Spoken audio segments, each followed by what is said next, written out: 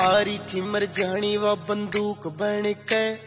घोड़ी की जो चल थी वह तण तण के आ रही थी मर जानी वो बंदूक बन के घोड़ी की जो चल थी